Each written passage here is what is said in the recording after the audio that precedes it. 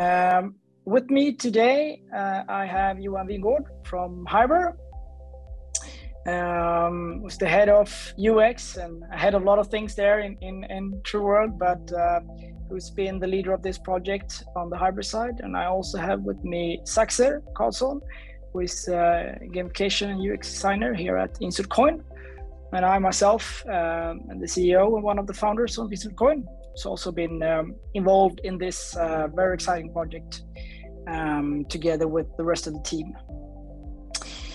And uh, today we're going to give you a short introduction of, of Hiber as a company and Hiber World as a product. Um, uh, a brief one around us is Coin, our uh, gamification API GWEN. Um, we'll head into this case. So it's a big case focus today, obviously, where we start with discussing the challenges and the goals and why Hiber went this way. Um, Saxer will show us the uh, the process and before and after, um, and go through that that work of what has been done. We will then head into the effects and the results um, where we're at, at right now in the project. We'll also talk a little bit about learning so far. It's a, a long-term relationship, of course, but uh, you, you learn things as you go, and it's very exciting to share those and discuss those with you. And then um, a short um, look at what's next um, before we head into the Q&A. So that's the agenda for today. And without further ado, um, I'll head over to to Johan and let you introduce yourself and uh, and Hiber. Sure. Hey everyone, and uh, thanks Carl for inviting me to this.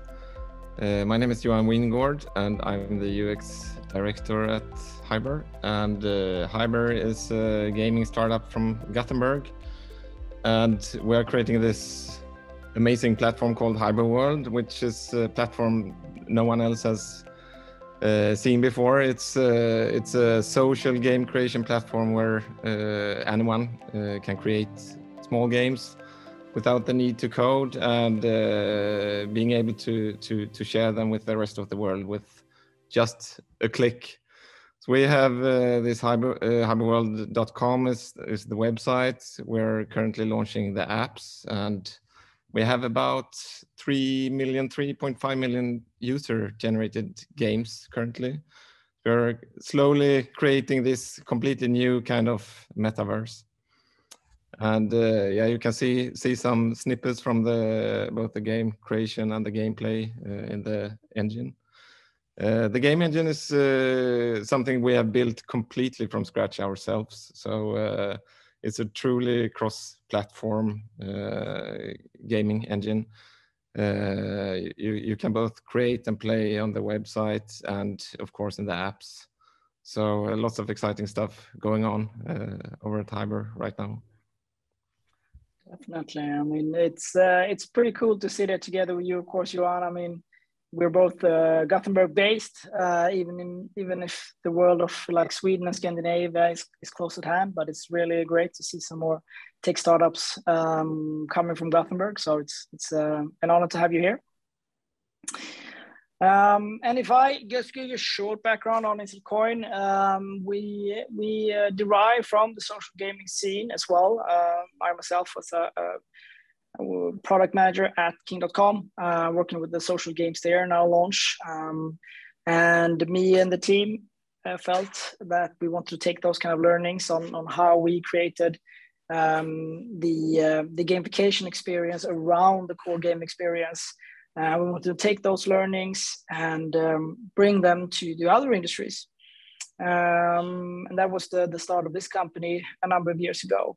And today we work both with the, the know-how and the insights uh, and engagement data regarding this area and how to create better retention. Um, but we also have a gamification platform called GWEN, Gamify the World Engine, that is helping companies to get a toolbox really, uh, so that you don't have to build everything yourself. Um, instead, you can focus on, on your core and use these tools to experiment and get uh, a head start and get going quicker. Um, all right, I'll, I'll leave it over to you, Johan, to go through a little bit of on the background to why we started this project together. Yeah, sure. Um, yeah, we we launched a public beta on the web uh, in the beginning of 2019, and uh, we've been working very closely with the community, like iterating and improving the website. And about a year ago, we started uh, creating the the mobile uh, tablet apps for for Hiber World.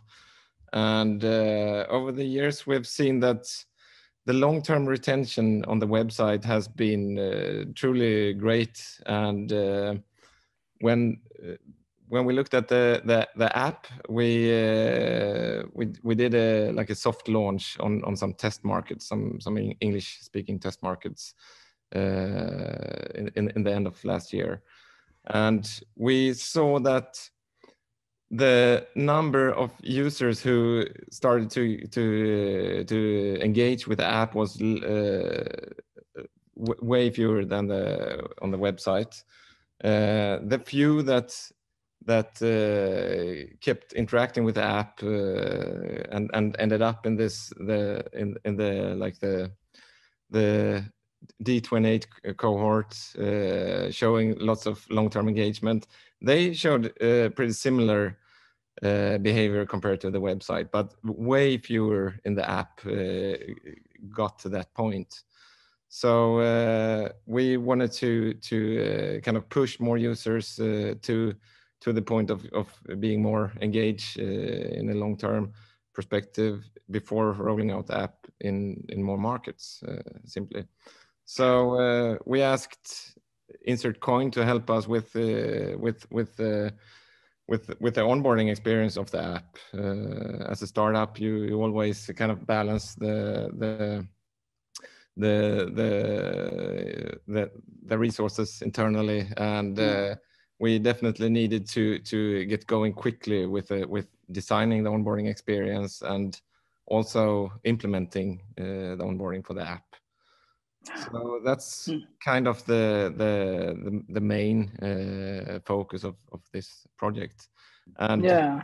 and i mean on our side it's also interesting to hear. I mean we, we see that challenge in so many industries and, and tech growth driven startups like the the the challenge of getting that attention especially on the app market has gone down it's been harder and harder and i mean um, you were a, a very tech mature uh, startup, even for your size. I mean, we when we work with other companies like you know Storytel or or, or football apps, etc. You have much more insight into this, um, as we could see from the the web uh, uh, success. But it's it's still it is a challenge to move across um, uh, cross platforms. Um, and we have seen an increase across the industries in how hard it is to get that retention to the levels we want to have them at. Yeah. Um, so uh, good. Uh, let's then jump into discussing the project a little bit and what we did uh, before and after. I will leave it to you saxer to um, to go through this Yes, thank you, Carl. Um, so yeah, um, I think we had some really great introduction here to what our challenge was for this process and the project as a whole. And uh, what we have uh, identified here with the help of Hiber is, of course, to uh, understand and where to begin uh, and what problems to solve. Uh, and we really wanted to start with a vision. So we wanted to uh, define and to understand all the user needs and the design challenge for this project. Uh, basically, we sit down together. Uh, we made some uh, heuristic evaluations of World to get an understanding of what the product is today. How does the app work, and uh, how can we make it uh, as a good onboarding or user experience as the web platform. Uh, we had some close collaboration together with uh, Hiber uh, to reach these goals, where we had some workshops and also took some uh, hypotheses that we can uh, focus on for this project. Uh, basically, a good way that we found to have this uh, project is also to do some uh, weekly meetings. And this was crucial to uh, be able to do, deliver in a fast manner and to actually end up in, in a way where we can produce something in a quick way. So uh, as I already have talked about, is the phase one, where we got to understand user needs and define the design challenge.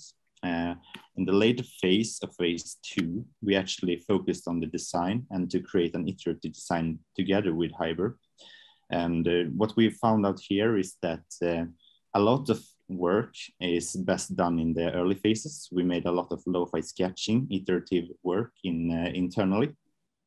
And then we had these weekly meetings together uh, where we can get some feedback and to understand what needs to be fixed until we uh, started creating the hi-fi mockups. And uh, oh. Yeah, and then we got to the phase three where we were able to focus on the updates and tweaks of the project, uh, where we could start the implementation and also sit down with the tech and uh, business intelligence from uh, both um, departments. Yeah, so I mean, I think it's good to stress that. I mean, all most of the the startups and growth uh, startups and game studios or or tech startups out there they have a resource challenge as you Johan said. Either you are low on tech or you're low on UX and design or you're low on everything. It's it's usually the the challenge. Um, uh, so in this case we went in together with the team to kick things off to get things going because you always want to do a lot but you don't have the resources. And at the same time you have usually demands especially if you're you're, you're uh, funded by investment capital to get things going quickly. Even if you have big projects you still have to do things for your kpis so in this case we went in with a team both to save time on the, the ux and the design but then of course also to save time on the tech and not having to build everything yourself. I think in this uh, project, we, as Saxer said, we worked very iteratively and very closely and uh, set up this uh, Slack channel, like spamming each other uh, several times a day. So it, it, was almost like you were part of our team, and uh, it was still like work from home status. Uh, so so it worked very well. yeah. I would say. And I think that is super important. obviously, there are are things to that that are fantastic and things that are challenging but i think it's it's uh, to keep that speed that is super important to have that kind of level of communication. Mm. uh, and yeah if you go to some real uh, markups and uh, images of, of the flow. Yeah. Uh, so this is uh, we wanted to show you the before pictures as well to get a good feeling about how it looked like when we arrived at the project and what Hiber was from the beginning. Uh, so what you can see here is two pictures uh, of the app. Uh, the one to the left is where you haven't signed in yet and where you get this prompt in the header that actually says sign in or log in. And this is uh, the main way that users get to uh, start, um, yeah, to get this uh, nudge basically to get started. But we, what we don't really see here is why they should log in. And this is something we will show you soon in how we we have done it. It's more obvious to what they will get uh, for actually logging in.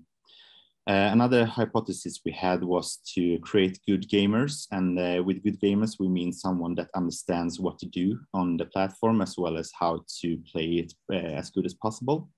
Uh, because something we noticed when going through is there are room for uh, getting more to get a better introduction into having some well-made games to safely start off with and not uh, start in deep end, so to say. Uh, we wanted to create a uh, safe environment where we have control of what games will be played. So we, I think we can jump to the next slide and take a look at what it looks like today. Uh, so here we will uh, we'll go through the flow of uh, what the app looks like today. Uh, we will also talk a little bit about why the mission path, as our mechanic is called.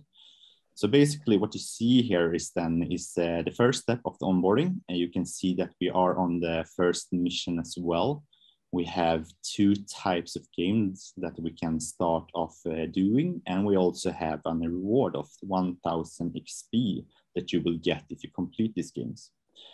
So the, the idea of having two games is uh, mostly about uh, giving some optionality and to give some freedom of choice for the user to uh, feel that they actually can choose different uh, types of uh, games depending on what they are uh, interested in. So you have some more snowy environment for those who like that and some more green and sunny environment on the left. Uh, doing this, we also, uh, if we can press on the next step, uh, we will see if uh, you press on the second mission here before you have completed the first one, you can see that it's still locked. This will uh, enable the user to focus on what's at hand at first, so they don't get overwhelmed in the beginning. So they will know that uh, if you do the first mission, you actually will progress to the second mission here because one thing that's typical with a big platform like Hiber is that you have so much to do, uh, which is uh, uh, very nice and positive feature in that whole. But in the beginning, it can be a little bit overwhelming in some cases. And uh, that's why the onboarding and the mission path is so great because it's uh, making a more compact journey of uh, how to start. so yeah, if you then go back yeah. to to the next slide, you can see if we press again that we are arriving to, uh, to the second mission or what actually we will choose the game first. Uh, so what happens when you press play is that you get to the first game and uh, this is where the user will play and uh, where we introduce some game mechanics. So the thinking about what types of game we have in this mission path is that the one in the first mission is supposed to be very simple to get a, a hold of what, how to move and how to jump and what uh, goal is, for example, in, uh, in the games. And then if we jump to the second uh, next picture, what's really important is then uh, what when you have completed something we want to give the user feedback. So it's really good to give them this notification that you can see in the bottom of the screen where they actually give this uh, 1000 xp because they completed the first game this XP is then uh, expanded uh, for the next game. So when we choose the second game here to the right, we will see that we jump into uh, to the next slide. So yeah, so this is just to show you the basic flow. So what will happen is that you have these missions where you always have these two games to choose between. You choose one game and then you progress. And when you complete it, you also get this reward that are visualized in the uh, bottom here. So for this one, we have 2000 XP. And then uh, as you can see, if we will jump to the next slide is that you will get this feedback again that you have completed this. And then we can also jump to the final step where we we play the last game to left here, and then uh, we actually get the feedback again. But this time the feedback is a bit different because what you also have done here is you have unlocked an avatar. And avatars is something that uh, Hiber use in the game. And this is uh, basically the first one that you unlock if you complete the onboarding. Uh, so if you sign up here, you can see the, that you are getting the avatar and also the progression. But if you don't, so some what we also see in the, in data is like it's important to not be forced to uh, sign up. It's uh, supposed to be voluntary at the, this point as well. What we have done here is we create a great incentive to actually uh, sign up, where you get this progression, you get this 6,000 XP, and you get this first avatar, and which is something that we have seen the users really like. Mm. We also like like to compare this to the old Nintendo games as well, where uh, you save your progression when you reach, the, uh, reach this checkpoint. But you don't really have to save it if you don't want to, but it's really good to do it because then you will get these things uh, that we are showing here. Yeah. Yeah. I think there are many, many cool things uh, that you're saying, Saxer. I mean, first of all, this the, the, the the illusion of choice and the opportunity of choice that is so important that um, eh, I think for, for a couple of years, it's been a design principle to let the user do whatever they want, let them free and explore. And, and, and at the same, especially in products, uh, at the same time in, in, in many games, it's gone to the other other part. I mean, if you play a Supercell game or something, it's super strict what you do during your onboarding, etc. And and they're pretty good at uh, retaining their the clients. So I believe that many products has it's not really kept up with that. It's, too open. It's too many choices. And I mean, if you go into a workout app or e-health app today, it's like, wow, where do I start? Um, and I, I, really believe that we need to be more there to help and guide the user because they are a bit spoiled today um, from from other types of, of apps and and in their lives. And and I think this is a pretty good example. I mean, still, we, we you want to have an illusion of choice. You can choose between that game and that game it's it, it's a choice it's pretty strict but it's a choice and i think that balance is super important um, as well as being a good gamer, good kind of sustainable thing that you don't have to, but uh, it's a good reward and it's a good incentive for you to actually sign up. And we know that might be, you know, an effort, etc., etc. but that's why we're giving you something for it. Mm-hmm. And I, I, don't know if you want to add something here as well, because uh, what you have done here is also really great, where we had this collaboration of like finding the best possible look and feel for the onboarding to suit your um, design system as well because uh, what we did in the, in the beginning was like almost like mood board stuff where we gave you the feel of what we want to do. So we want to visualize the avatar and we want to give them a feeling that they will get a big reward but don't really know what it is. But also when they arrive at it it's supposed to be like this massive thing like congratulations you got this avatar for example.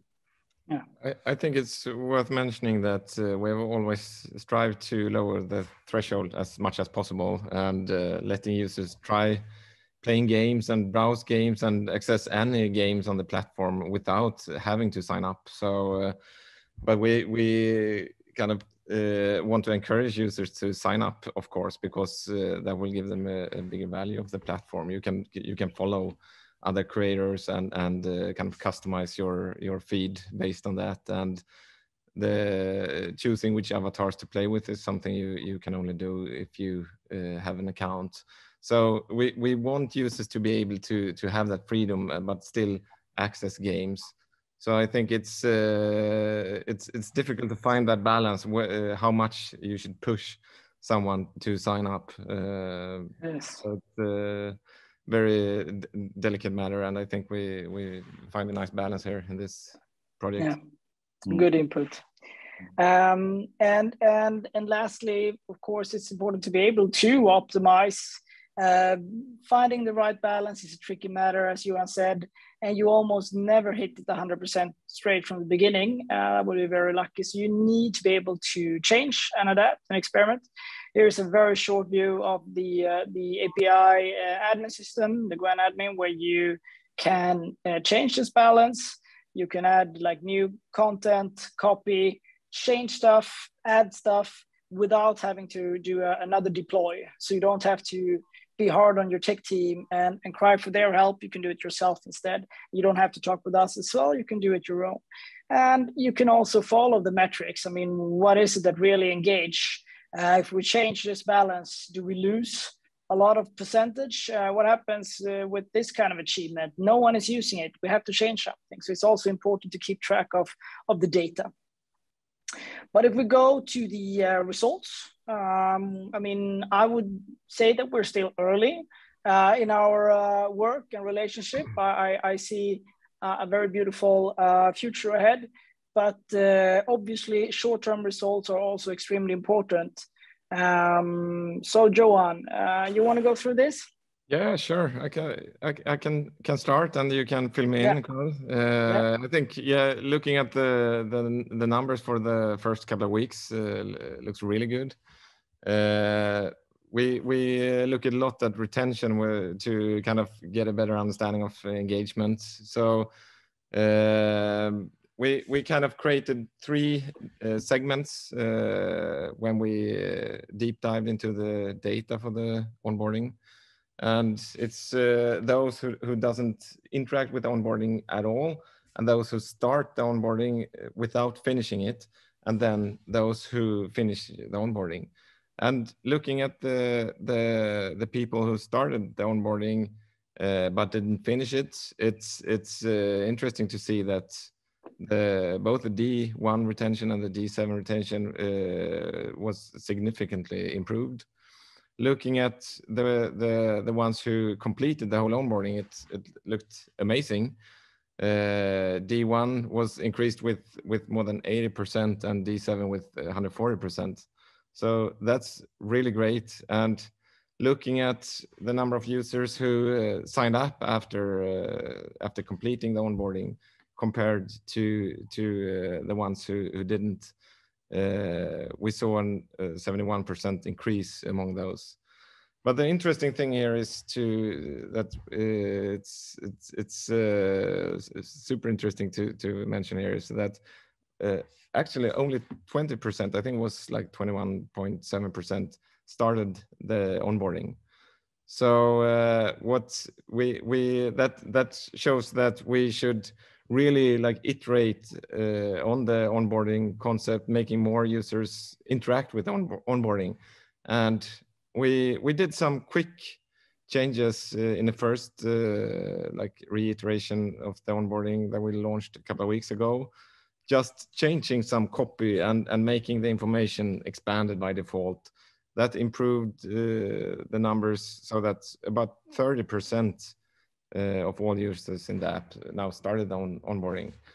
So that's uh, that's yeah. So there's there there's a big chunk of people out there that uh, doesn't interact with onboarding that we really want to engage in the yeah. onboarding because that yeah. really improves the, the, the engagement numbers here.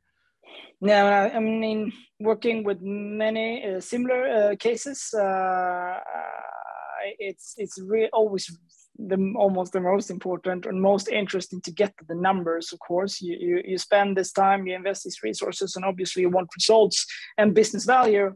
Um, and um, I, I think it's extremely interesting to see these numbers. I mean, to get the the retention up when we're just at the onboarding, I mean, most of you who, who listen, who know gamification knows that obviously we have a user journey starting from onboarding to core loop to mastery. This is the first step, of course, of a project that we we plan going to span the whole user journey. So there are many things to do, uh, but from these uh, first steps, um, an iteration to land in these kind of numbers is very very exciting. And as Johan said, it's also very interesting. And when you dig in, I mean, we could probably talk numbers for an hour, but um, uh, what do we do to get people to actually do this onboarding? I mean, it's, it's fully optional to do it today. You have to interact and actively say, I want to do it.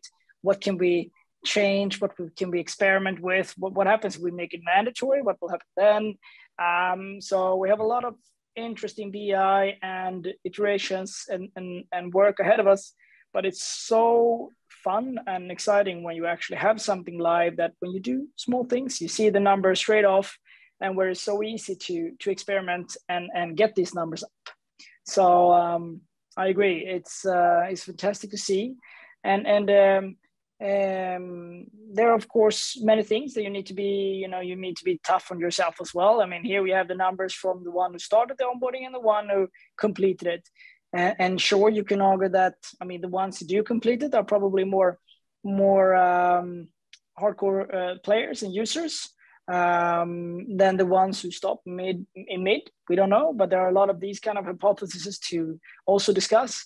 But even if you only get them to do one game instead of all the three, it's a it's a great increase. So very exciting for sure, and um, and um, obviously also something that you look forward to to see the next you know where are we after three months after six months when we do these iterations yeah and um, i think yeah. one of the most difficult things in a startup with a small team is to kind of prioritize if you want to improve existing yeah. features compared to to uh, to develop new features and, and launching them so it's, is... a, it's, a, very uh, difficult balance and i think in this case we looked at the data and, and tried to understand why doesn't more users start onboarding. So we yeah. we try to kind of identify some low, low hanging fruits here and and uh, yeah. address them uh, and and quickly iterate on the feature.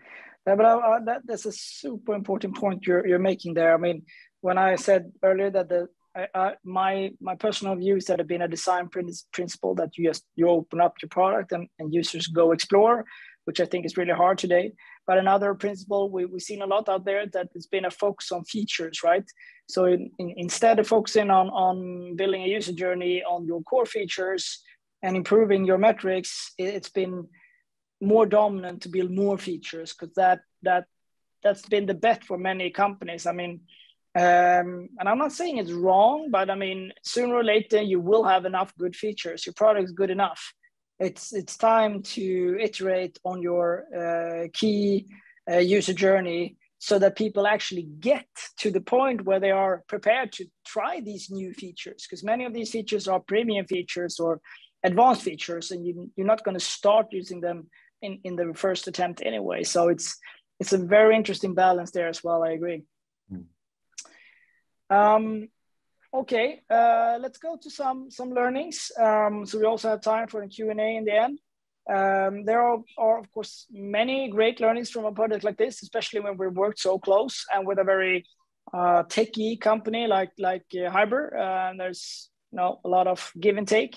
Um, but some learnings is that it's it is really important to get something live quickly that you can scale from, because the results they, they create mandate. I mean, you cannot invest too much, uh, make a too big bet without results. So it's so important to get that down. Obviously, it needs to be big enough so that you can get good results. I mean, there's no use of launching something in the bottom left corner who no one will ever see.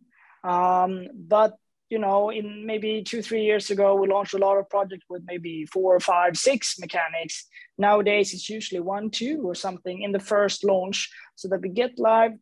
And with a good platform, with a good uh, toolbox, you can easily go add from there. So, um, and, and I think that's been a big success in this this um, project as well. Yeah, and when when it comes to the UX part, uh, as a small like tech startup, we kind of have limited resources and, and we ask you guys to to help us out uh, doing the the UX work for for for the onboarding concept as well. And uh, I think one learning is that it's of, of course we here at Hiber we we know our product uh, better than anyone else, and it it was pretty obvious that uh, it's difficult for for someone coming from the outside to quickly get this holistic uh, understanding of the platform. So so we we have actually been struggling a little bit when it comes to like information architecture, navigation, and and stuff like that to to get the onboarding in place in a really natural way. Uh, so that's definitely something we can improve, and that's an, an uh, understanding from from our side as well. Yeah. Uh, but it's I think, worth yeah. I think it's a uh, really definitely, definitely, and I think we can like add on that that. I mean, it's exactly as you say, Johan, that you have the full overview of your UX. And when changing something like an onboarding, obviously people from another part of the product team, whatever, they will have thoughts, they will have uh, effects, and it's important to have some sort of overview over that. Um, so definitely a good learning to bring uh, when doing these kind of projects.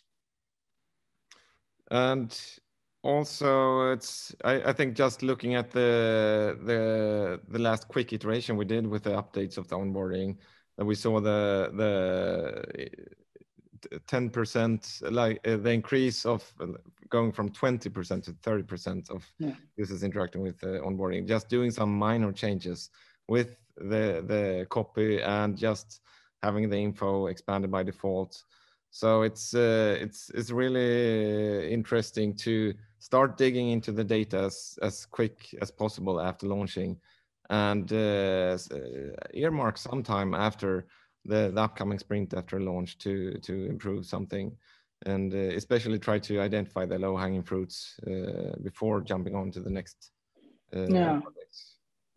I, uh, I definitely agree. We we we worked with many uh, clients before who did not plan for that, um, and if you're maybe even more stressed as the as a scale up, and you really need to deliver some results before you know maybe a round or whatever, that you you you may go into a project like this and say let's get it out you know the first one get it out quickly and then scale from there. But uh, usually and, and very often like the first iteration brings those results up by a lot.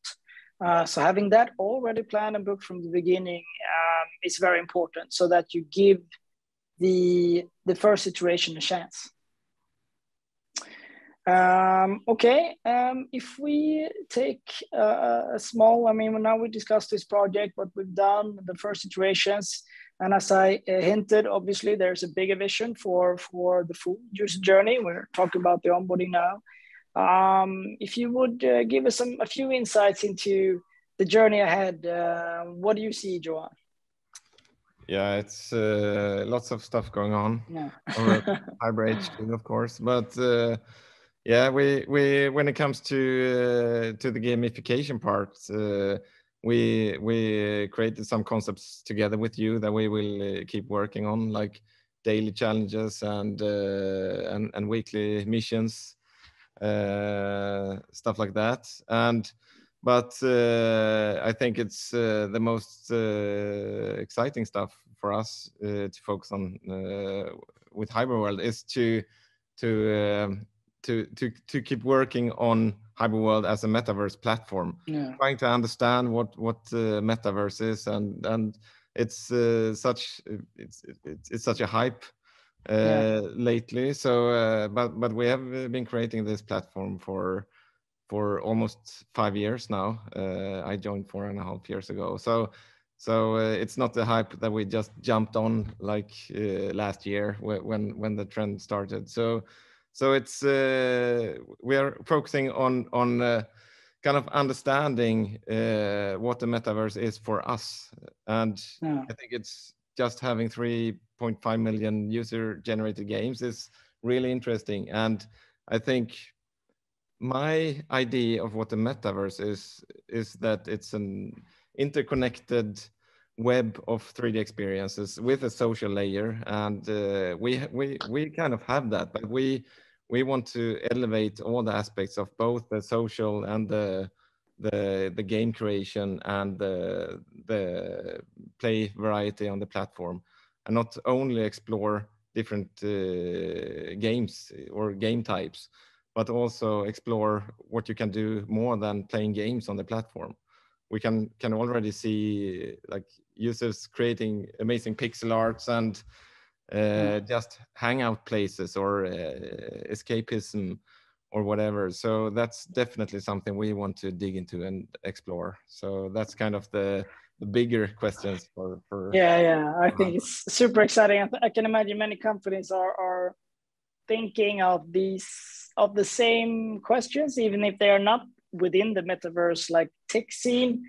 Uh, it feels somehow relevant for everyone to trying to understand and how would how will these kind of things affect me and my business. So uh, super interesting and i'm sure we're going to hear more about uh, these kind of things in the future both from you and from the, the community as a whole. Um, i will stop sharing here and i will go into the q&a uh, and see if we can get some questions going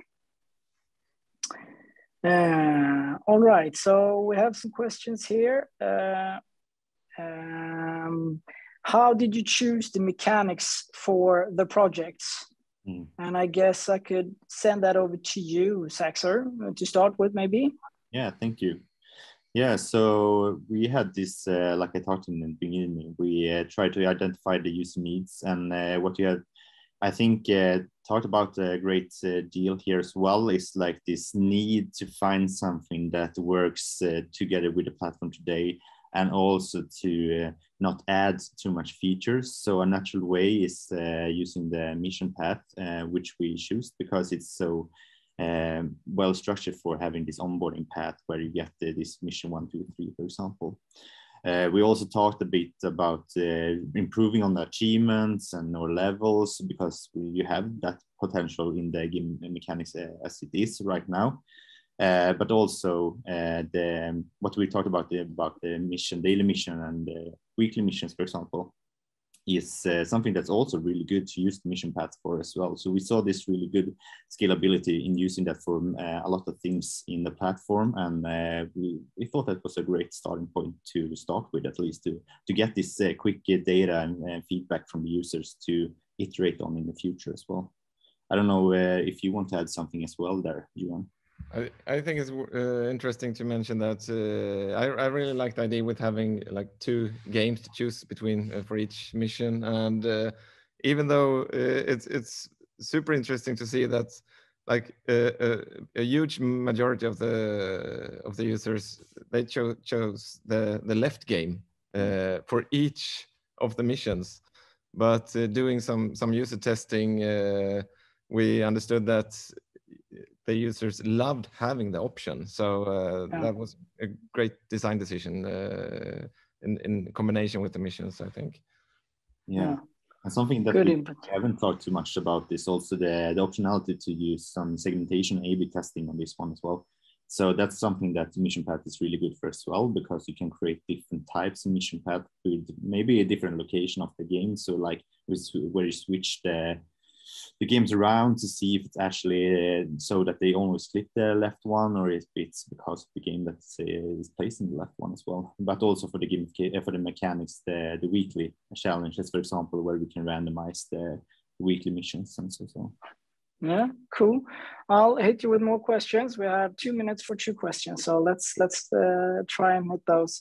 Uh, Johan, what would you tell someone who's thinking about implementation implementing gamification on their own versus working with with uh, Insert Coin or a third party supplier? Yeah, I think yeah, that's a difficult one. I think the like three years ago we did a really quick take on level system, XP, and some achievements.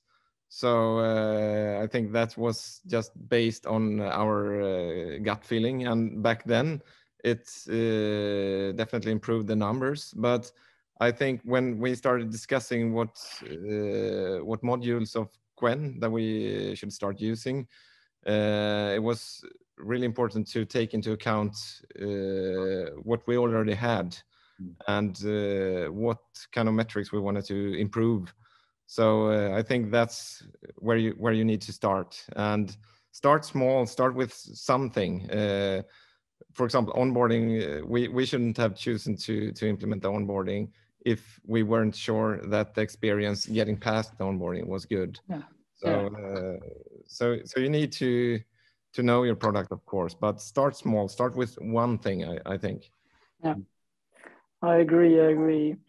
Uh, thank you. And then last questions. How, how many how many hours did you spend? I, I guess this is turned in rather to the, how much resources would one need to to allocate, and you know how big of a project is this? Um, mm. and obviously, there are two sides of this: is how much is it put in, and how much uh, Hiber put in. Uh, as Saxer, you you want to give a, a, an estimate or a summary of the Insert Coin first? Yeah, sure. So what I would say is like uh, it took about one and a half month uh, until we were ready, and that was really based also uh, uh around the challenge to have something ready um, for your investors and so on. And uh, what we allocated about in working time for a team of design and tech, business intelligence, and project leads I would say about around 100 hours uh, for all these resources and uh, this one and a half month. Uh, yeah. Cool. And uh, Johan, on, on your end, I mean, I don't know if you have those estimates, but I mean, in terms of design and tech.